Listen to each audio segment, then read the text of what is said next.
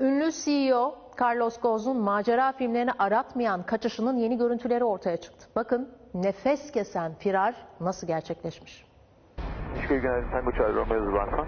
Kaçışıyla dünyayı ayağa kaldıran ünlü CEO Carlos Ghosn, X-Ray'in içine sığamayacak kadar büyük işte bu müzik kutusuna konuldu. Havalimanında Japon polisi atlatıp Türkiye üzerinden Lübnan'a kaçtı.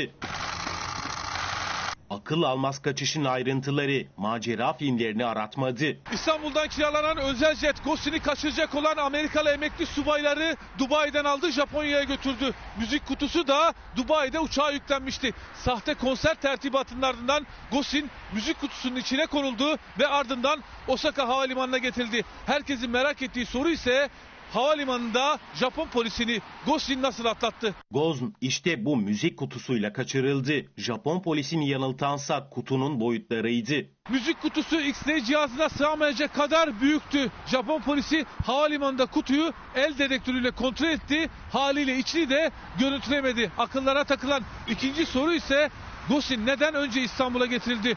Çünkü kaçıran kişilerin amacı Japon polisini oyalamak ve dikkatini dağıtmaktı. Çünkü eğer firar ortaya çıkarsa o zaman Japon polisi önce Orta Doğu ve Beyrut uçuşlarına bakacak. İstanbul'da akıllarına belki de hiç gelmeyecekti. Atılan bir tweetle ortaya çıkan skandalın ardından Türk polisi soruşturma başlattı. Firarı organize eden özel bir kargo firmasının müdürüyle 4 şüpheli tutuklandı. Skandal kaçışın görüntüleri de ortaya çıktı.